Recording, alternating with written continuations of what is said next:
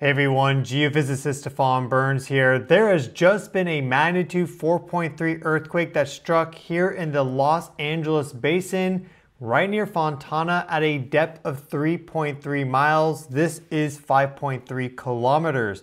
And this, in fact, is one of the strongest earthquakes that has been registered in California for the past month. We see the epicenter right here, a bit of a burst of activity right near that epicenter with some magnitude threes as well. This is the 4.3 though specifically, and we see this aftershock there at 6.2 kilometers of depth. That's a magnitude 3.1.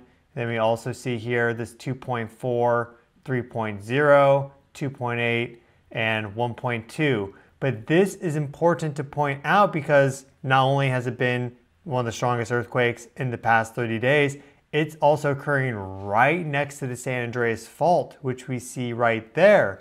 And if we just consider the larger global context, we just had that magnitude 8.8 megaquake off the coast of Kamchatka, Russia.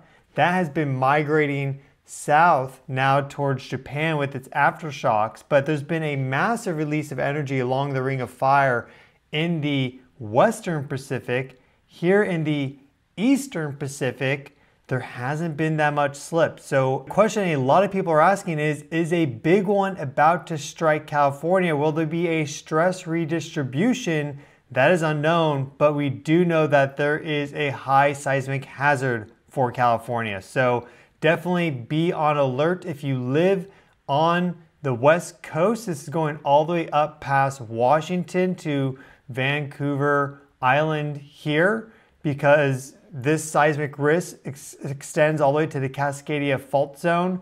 And in general, you should always have 72 hours of emergency supplies. This would be water, food, a hand crank radio, because the earth does work in these ways where you will have stress release in one part and then there will be corresponding stress release in another. So I'm not saying that California is about to have an earthquake and that this magnitude 4.3 is an indication of that, but it is a good reminder that California is very seismically active. It is overdue for quite a few big ones, both in NorCal and in SoCal, and it very well could be gearing up for something larger based off of current earthquake trends. Here we see our intensity contours for this magnitude 4.3, as well as our did you feel it survey feedback and also historic seismicity for the area. So we zoom in here, these white circles are the historic seismicity, whereas the orange and red ones are the current earthquakes that are happening as a result of this magnitude 4.3.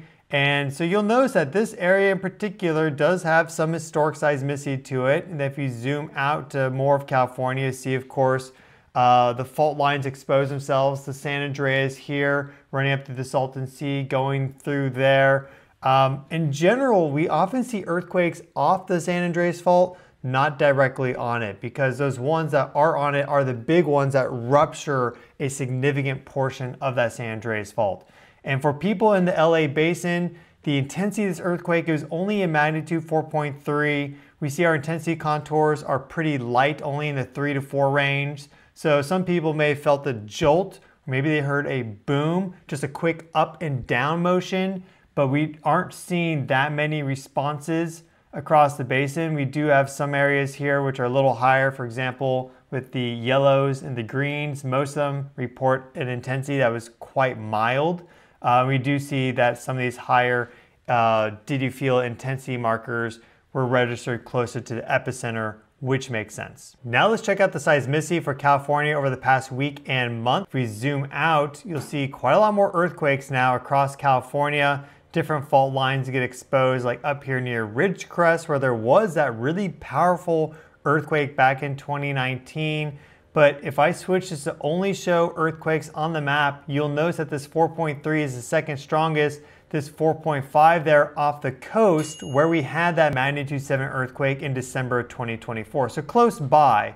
So no one really would have felt that, meaning that this 4.3 has been the strongest earthquake here for California in the past week. And in fact, if we go to our 30 days, all magnitudes for the United States, we see that it is still right there near the top. though there also was a 4.3 earthquake here just south of the Salton Sea. And you see the burst of earthquakes that occurred following that. And so that is likely to also occur with what just happened here in the LA basin near Fontana. We'll likely see more aftershocks from this 4.3, but all of them of lesser magnitudes, magnitude 3, magnitude 2. There is a chance that this is a foreshock sequence, about 5%, so that would lead up to about a magnitude 5, which is a good shaker that can knock down chimneys, cause some damage like that. But in general, California has been seismically quiet, you could say, in terms of a big one as compared to what's been happening on the global scale,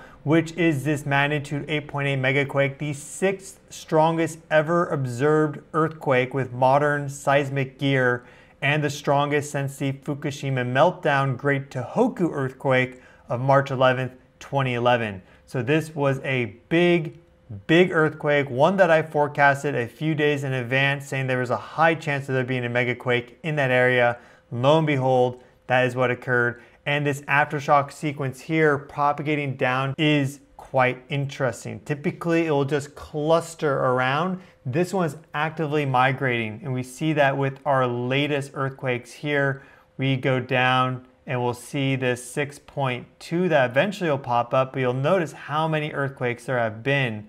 Uh, a tremendous amount of earthquakes. It's actually this one right here.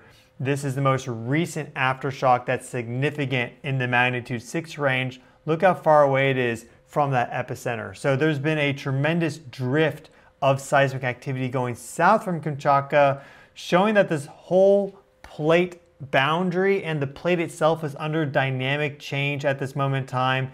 And technically, California is connected to that and more directly than a lot of people realize because here you have a mid-ocean ridge, you have active plate creation, and so the dynamics are a little bit different as it relates to South America. But for this part of the Ring of Fire going up, you have a lot of subduction zones, you have the subduction zone there, and then it does eventually go into strike slip where they're going past each other, kind of allowing for this rotational movement almost. Uh, and so we are connected pretty closely to the dynamics that's unfolding here with Russia. And then also we had that 7.3 in Alaska on the 16th of July. And of course, you notice how many earthquakes in general happen in Alaska, California, lower magnitude. But is California due for a big one in the southern part of the state and also up in the northern part of the state? Absolutely. The Hayward Fault is uh, definitely locked, loaded, ready to go. San Andreas Fault, both northern and southern sections are ready to go. The question is when. I cannot tell you when that's going to occur. It's very difficult to forecast earthquakes, but I'll keep you up to date if you subscribe to the channel. Thank you all so much for watching. Again, I've been your host, Stefan Burns, wishing all of you well. I'll see you all in the next one.